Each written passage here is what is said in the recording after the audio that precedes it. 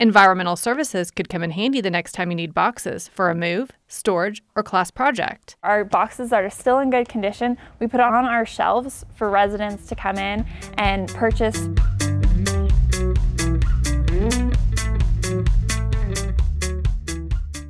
The City of Frisco's Environmental Services Division resells used boxes that are still in good shape. We really understand the reduce, reuse, recycle. When we can't reduce, we want to reuse. And before we recycle, we definitely want to reuse. All the boxes sold are from those dropped off by Frisco residents into the cardboard recycling bin. Our crew goes through them and checks for any personal identifying information. And if they're free of that, and in good condition, they'll be added onto our shelves. So um, when residents drop those off, that's in the trailer outside. If you're coming for cardboard boxes, they're in here. The city started the used box sales program in 2009. Box prices range between $1 and $5. It's about 50 to 75% less than a box store. Last year, the program sold 1.8 tons of cardboard boxes, raising more than $4,500 in funds. Environmental Services is enterprise funded, which means that any of the revenues that we generate through um, recycling, reselling, um, we actually put those back into our program so then we can expand the services that we have for our residents. Those services include newly extended hours for household chemicals and electronics collections, now open five days a week.